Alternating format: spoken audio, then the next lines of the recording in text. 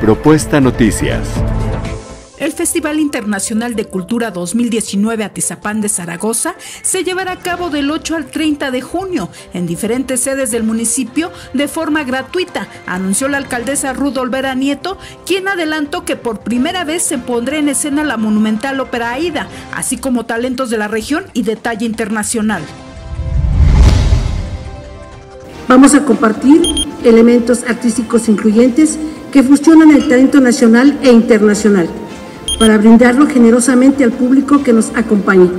Todos los asistentes tendrán acceso gratuito a los escenarios asignados para las presentaciones.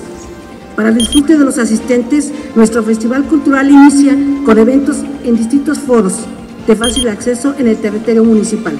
Con esta iniciativa, nuestro municipio se coloca a la altura de ciudades de todo el mundo, donde se ha presentado AIDA, que sigue maravillosamente y encantando a los espectadores que disfrutan de una de las obras más apreciadas de la ópera. El anuncio fue amenizado por la Sonora Santanera y la soprano Olivia Gorra, donde la alcaldesa informó se invertirán 19 millones de pesos recursos propios para llevar a cabo este evento cultural multidisciplinario. Con decisión y esmero, organizamos un programa artístico de orden internacional que expresa la pluralidad que vivimos en Atizapán de Zaragoza en el Estado de México y en nuestro país. Nos atrevimos y nos arriesgamos a dar un, a un giro de 360 grados a los programas de cultura.